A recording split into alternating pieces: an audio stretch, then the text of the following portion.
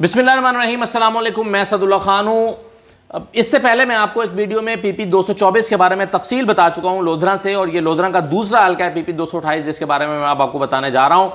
यहाँ पर भी सूरत हाल काफ़ी दिलचस्प हो चुकी है, लेकिन पीटीआई ने एक गलती ये की है कि एक नस्बता कमज़ोर आदमी को टिकट दिया है। लेकिन हालात इस किस्म के हो रहे हैं कि इसके बावजूद उनको सपोर्ट मिल सकती है। हालात ग्रुपिंग कुछ इस किस्म की हो गई है कि नून लीग का वोट काफ़ी बुरी तरह से तकसीम हो रहा है। मैं ये पूरा हल्का आपके सामने रखता हूँ। पिछले हल, पिछले हल्के में 224 में मैं आपको बता चुका हूँ कि यहाँ से जवार हुसैन बड़ाइच और आमिर इकबाल शाह का मुकाबला है जिसमें आमिर शाह इकबाल आमिर इकबाल शाह को काफ़ी बढ़तरी हासिल है और उसके चार बड़े मोटे फैक्टर्स मैंने आपको बताए थे कि उनको क्यों और कैसे बढ़तरी हासिल है। अब ज़रा आ जाए पी पी लोधरा। यहाँ पर जो इस वक्त उम्मीदवार हैं तगड़े उम्मीदवार वो तीन हैं।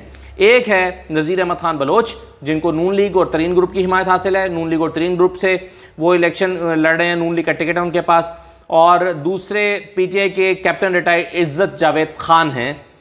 इनका मैं बैकग्राउंड आगे चल के बताता हूँ आपको। और तीसरे तगड़े उम्मीदवार जो हैं, वो सैयद रफ़ीउद्दीन बुखारी हैं, जो आज़ाद उम्मीदवार के तौर पर इलेक्शन लड़ रहे हैं। अच्छा अगर आप 2018 से मवाजना करते हैं तो दो नाम आपको नज़र आते हैं जो इस मरतबा भी इलेक्शन लड़ रहे हैं, लेकिन इज़्ज़त जावेद खान नए आए हैं।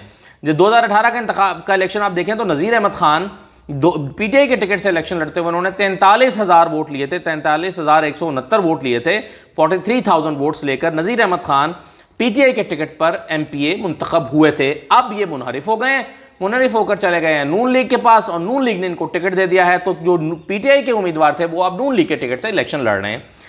लेकिन दूसरी तरफ़ जो नून लीग से हारे थे, रफ़ीउद्दीन बुखारी, नून लीग के जो के जो उम्मीदवार हारे थे और हारे से चार हज़ार वोटों से थे। रफ़ीउद्दीन बुखारी नून लीग से उनतालीस हज़ार वोट उन्होंने लिया था। अब रफ़ीउद्दीन बुखारी को पीटीआई ने टिकट नहीं दिया। अब होना तो ये चाहिए था कि जो इनको टिकट मिल जाता पीटीआई का, और अगर इनको पीटीआई का टिकट मिल जाता तो ये एक एक तगड़े उम्मीदवार होते और इनकी जीत के इम्कान तकरीबन कंफर्म होते या रोशन होते, क्योंकि इन्होंने पिछली दफ़ा भी उनतालीस हज़ार वोट दिया था। लेकिन इनको टिकट नहीं दिया और इन टिकट दे दिया है पीटीआई ने एक गैर मरूफ आदमी नस्बता कैप्टन रिटायर्ड इज़्ज़त जावेद खान को जो कि पीटीआई के टिकट से इलेक्शन लड़ेंगे। अच्छा अब चूँकि नून लीग ने रफ़ीउद्दीन बुखारी को टिकट नहीं दिया और टिकट मिला है नज़ीर अहमद खान को, नज़ीर अहमद खान को इसलिए मिला है नज़ीर बलोच को, क्योंकि वो मुनहरिफ होकर आए हैं, उनको टिकट देना मजबूरी थी तो नून लीग के जो रफ़ीउद्दीन बुखारी हैं, वो नाराज़ हो गए हैं और नाराज़ होकर आज़ाद खड़े हो गए हैं। उन्होंने कहा कि जी, ठीक है, अगर इस तरह है तो फिर ऐसे ही सही। और अगर आप मुझे टिकट नहीं देंगे तो मैं फिर आज़ाद हैसियत में इलेक्शन लड़ूँगा और आज़ाद खड़ा हो जाऊँगा और वो आज़ाद हैसियत में अब इलेक्शन लड़ रहे हैं। अच्छा अब आप देखिए कि बैकग्राउंड ज़रा मैं आपके साथ शेयर कर लेता हूँ। अभी अजान शुरू होगी तो फिर मैं थोड़ी देर के लिए रुक जाऊँगा। बल्कि हम एक ब्रेक ले लेते हैं। मैं आपको ज़रा इसका आगे बताता हूँ। अच्छा जी, अब मैं आपको ज़रा बैकग्राउंड बता देता हूँ इन इन जो उम्मीदवार हैं तमाम का। नज़ीर खान बलोच जो हैं, इनके वालिद अहमद खान बलोच चार पाँच दफ़ा एम रह चुके हैं, पुराना सियासी घराना है, बिल्कुल सही है, इनका अच्छा बैकग्राउंड है। दूसरा जो पी टी आई के हैं, इज़्ज़त जावेद खान। इनका मसला ये है कि ये रहते इस्लामाबाद के हैं, इस्लामाबाद पिंडी के रहने वाले हैं, इस्लामाबाद के रहायशी हैं, इस्लामाबाद में इनका घर है, इनके कारोबार, बाकी मामला सब यहाँ इस्लामाबाद पिंडी में है। लेकिन इनका रकबा लोधरा में है। और डेरेदारी वहाँ पर उन्होंने बनाई हुई है, कोई डेरा शेरा बनाया हुआ है। लेकिन इनका चार पाँच साल से तो बिल्कुल ये कट ऑफ़ थे हल्के से, और वहाँ पर इन्होंने कोई वर्किंग नहीं की। इससे पहले ये एक एमपी का इलेक्शन लड़ चुके हैं, लेकिन हार गए थे। एक बार ये अलबत्ता यूसी चेयरमैन रहे हैं, लेकिन अगर बाकी उम्मीदवारों के मुकाबले में देखें तो एक हमें कमज़ोर उम्मीदवार दिखते हैं। इसलिए नहीं कि कई फैक्टर्स हैं, जैसे मैंने आपको बताया कि वहाँ के रहने वाले भी नहीं है, फिर उन्होंने वर्किंग भी नहीं की हुई पिछले चार पाँच साल में। तो हल्के में इनका कोई ख़ास किरदार नहीं रहा। लोगों से खुशियों, गमियों में शामिल नहीं होते रहे। तो इस लिहाज से पाकिस्तान तरीके इंसाफ के ये उम्मीदवार, एक कमज़ोर उम्मीदवार हमें बाज़ार दिखाई देते हैं। लेकिन इनकी चा, इनका चांस अगर बनता है तो वो इसलिए बनता है कि नून लीग जो है वो वहाँ पर दो हिस्सों में तकसीम हो गई है।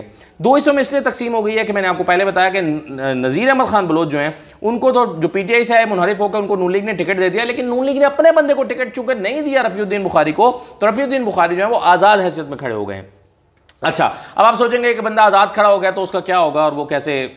देखें, यहाँ पर यही नुकता सबसे ज़्यादा दिलचस्प है क्योंकि मैंने आपको बताया कि इस हल्के की सियासत में पिछली वीडियो में बताया था कि इस हल्के की सियासत में कांजू ग्रुप जो है, उसकी बहुत ज़्यादा अहमियत है। उसको बड़ी अहमियत हासिल है। और जो कांजू ग्रुप है, वो शहीद कांजू ग्रुप, वो इस वक्त नज़ीर अहमद खान बलोच नून लीग के उम्मीदवार को सपोर्ट नहीं कर रहा, बल्कि एलानिया तौर पर पीर रफ़ीउद्दीन बुखारी, सैयद रफ़ीउद्दीन शाह बुखारी को सपोर्ट कर रहा है। अब सैयद रफ़ीउद्दीन बुखारी आज़ाद हैसियत में लड़ रहे हैं और इनको हिमायत हासिल है। सैयद इनको कांजू ग्रुप की, यानी एक ऐसे ग्रुप की जिसका एम एन ए मिनिस्टर है, वज़ीर ममलिकत दाखिल अब्दुलरहमान कांजू, और उन, वो इनको सपोर्ट कर रहे हैं, आज़ाद उम्मीदवार को। क्योंकि मैंने आपको पिछली वीडियो में बताया था कि उनको इस हल्के में जो सियासत करनी है, उसमें अपनी सियासत को उन्होंने देखना है कि कैसे आगे लेकर चलना है। वो ऐसे आँखें बंद करके नून लीग के बंदे को सपोर्ट नहीं कर सकते और ऐसे आदमी को जो बाहर से आया है पीटीए के टिकट से इलेक्शन जीत कर आया, और अब वो कांजू ग्रुप उनको सपोर्ट करना शुरू कर दे तो ये बहुत मुश्किल बात है। अच्छा दूसरा ये है कि मैंने आपको बता दिया, कांजू ग्रुप नून लीग को सपोर्ट नहीं कर रहा और इनको सपोर्ट कर रहा है। दूसरा एक इसमें एक इंपॉर्टेंट फैक्टर जो है, वो सदीक बलोच का भी है। सदीक बलोच साथ वाले हल्के से एक मौजूदा एम भी हैं, और वो नज़ीर बलोच के ख़िलाफ़ खड़े हैं। नज़ीर, बलोच के ख़िलाफ़ वो इसलिए खड़े हैं कि ये भी बलोच हैं, वो भी बलोच हैं बलोचों की इनकी आपस में बरदरीों के मसाइल हैं। तो सदीक बलोच ने ऐलानिया कह दिया कि जी मैं किसी सूरत न जो नज़ीर बलोच है, इसको सपोर्ट नहीं करूँगा। और सदीक बलोच ने भी, सदीक बलोच वही हैं जिनकी जाली डिग्री का मामला हुआ था, और इनको फिर जंगीर तरीन ने शिकस्त दी थी हल्के में जब ज़मनी इलेक्शन हुआ था, इनकी डिग्री के जाली होने के बाद। ये पुरानी बात है। तो सदीक बलोच जो हैं वो फिर बाद में दोबारा एम पी मंतखब हो गए। फिर ये यानी इनके डिग्री का मामला क्लियर हुआ था तो ये हार गए थे जहांगीर तरीन से। और उसके बाद फिर जो है वो आ, इन जहांगीर तरीन साहब भी नाहल हो गए फिर उनके बेटे अली तरीन लड़े। फिर अली तरीन लड़े तो अली तरीन हार गए थे। अब ये एम पी लड़े हुए हैं और सदीक बलोच एम पी मंतखब हुए हैं। तो अब सदीक बलोच ये कहते हैं कि जी मैंने नज़ीर बलोच को सपोर्ट नहीं करना और वो खड़े हो गए जाके पीर सैद रफ़ीउद्दीन बुखारी के साथ। जहाँ यानी सदीक बलोच भी कांजू ग्रुप में है तो कांजू ग्रुप जिस उम्मीदवार को सपोर्ट कर रहा है, सदीक बलोच भी उसी को सपोर्ट कर रहे हैं। तो इन सारी चीज़ों को मिलाकर जो है, वो पीर रफ़ीउद्दीन बुखारी की जो पोजीशन है, वो काफ़ी तगड़ी हो जाती है, वो काफ़ी अच्छी हो जाती है। और अब ऐसा लगता है कि इस हल्के में जो असल मुकाबला है, वो नज़ीर अहमद खान बलोच और पीर रफ़ीउद्दीन बुखारी के दरमियान है। तगड़ा मुकाबला और कैप्टन रिटायर इज़्ज़त जावेद खान हमें तीसरे नंबर पर आज की पोजीशन के मुताबिक, यानी एक महीना बाकी है, अठारह तारीख आज तो आज की पोजीशन के मुताबिक हमें रफ़ीउद्दीन और नज़ीर अहमद बलोच में मुकाबला नज़र आता है और कैप्टन इज़्ज़त खान पीटे के टिकट होल्डर जो हैं, ये थोड़े से हमें कमज़ोर नज़र आते हैं। लेकिन और दूसरी बात यह है कि इनका अगर मैंने शुरू में कहा था कि कोई चांस बनता है तो वो इसलिए बनता है कि नून लीग का वोट तकसीम होगा। नून लीग के जो के नज़रियाती कारकुन हैं वर्कर्स हैं वो नज़ीर अहमद बलोच को सपोर्ट करने के लिए जाएँगे क्योंकि उनके पास नून लीग का टिकट है। और उधर नून लीग ही के, जो ग्रुप है कांजो ग्रुप वो चूँकि सपोर्ट दे रहा है एक दूसरे उम्मीदवार को तो नून लीग का वोट काफ़ी तकसीम हो जाएगा। तो नून लीग के वोट की तकसीम होने से इज़्ज़त जावेद खान पाकिस्तान तरीके साफ़ के उम्मीदवार फ़ायदा उठा सकते हैं। और फिर यह है कि अगर हवा चल पड़ी बल्ले की और ये अब निकल गई कि जी इमरान खान खंबे को भी इमरान खान ने खड़ा किया तो हम वोट देंगे तो फिर इज़्ज़त जावेद खान जो है वो बेहतर नतीजा ज़ाहिर कर सकते हैं। अच्छा मैं आपको ये बता दूँ कि बरदरियाँ यहाँ पर जो हैं काफ़ी सारी हैं। जट बरदरी भी है, आरई भी हैं, गुज्जर भी हैं, बलोच भी हैं, पंजाबी भी हैं सराइकी भी हैं। तो किसी एक बरदरी का यहाँ पर ज़ोर नहीं है। तो इसलिए यहाँ पर बरदरीों की बजाय बरादियों का वोट बैंक ज़ाहिर होता है, लेकिन उसके बजाय जो ग्रुप्स हैं, पॉलिटिकल ग्रुप्स, उनका ज़्यादा, उनकी सियासत ज़्यादा होती है। जहांगीर तरीन, इस हल्के में भी मैदान में नज़र नहीं आ रहे अपने उम्मीदवार को सपोर्ट करने के लिए। अली तरीन, जैसा कि मैंने आपको बताया था कि दोनों हल्कों में सपोर्ट कर रहे हैं अपने उम्मीदवार को, लेकिन उस तरह से कैंपेन का हिस्सा नहीं है, जिस तरह से खुलकर एक सियासत की जाती है।